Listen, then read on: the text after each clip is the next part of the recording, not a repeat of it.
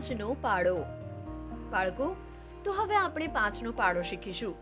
જે રીતે આપણે જામફળની મદદથી ચારનો પાડો બનાવ્યો હતો, એ જ રીતે સંખ્યાઓને ઉમેરીને પાંચનો પાડો બનાવીશું. તો આપણે મળેલી સંખ્યામાં પાંચને ઉમેરતા જઈશું અને પાંચનો પાડો બનતો જશે. તો જુઓ કઈ રીતે. સૌપ્રથમ પાંચ એક જ વખત મૂકતા બનશે પાંચ. હવે એ પાંચમાં ફરી પાંચ ઉમેરતા બનશે દસ. હવે મળેલા દસમાં ફરી પાંચ ઉમેરતા મળશે પંદર. એ જ રીતે પંદરમાં પાંચ ઉમેરતા મળશે વીસ.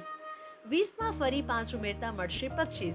આ પચીસમાં પાંચ ઉમેરતા મળશે ત્રીસ. ત્રીસની અંદર સાતમી વખત પાંચ ઉમેરતા મળશે પાંત્રીસ.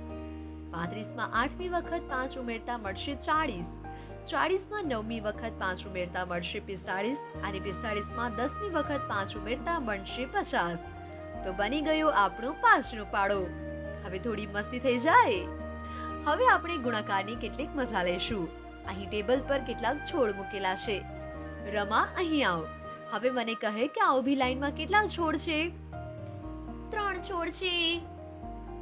ને આવી આડી લાઈનો કેટલી છે? ચાર. તો હવે આનો ગુણાકાર થશે ત્રણ ગુણ્યા ચાર બરાબર બાર. યશ, હવે અહીંયા આવ. હવે કહેતો જરા છોડની આડી લાઈન કેટલી છે? ચાર લાઈન છે. અને બધી લાઈનમાં કેટલા છોડ છે? ત્રણ છોડ છે, મેડમ. એટલે હવે આનો ગુણાકાર થશે ચાર ગુણ્યા ત્રણ બરાબર બાર. જોઈ આ મજાની વાત. રમાએ ગણાય તો પણ એ બાર થયા અને યશે ગણ્યા તો પણ એ બાર જ થયા. એટલે કે ચાર ત્રણ વખત ગણો કે ત્રણ ચાર વખત ગણો? તેનો મતલબ બાર જ થાય છે. તો હવે કહો કે બે ગુણ્યા છ અને છ ગુણ્યા બે નો જવાબ શું આવશે? ટીચર, બંનેનો જવાબ બાર જ થશે. શાબાશ! તમને લોકોને ગુણાકાર કેવી રીતે કરાય એ સમજમાં આવી ગયું છે.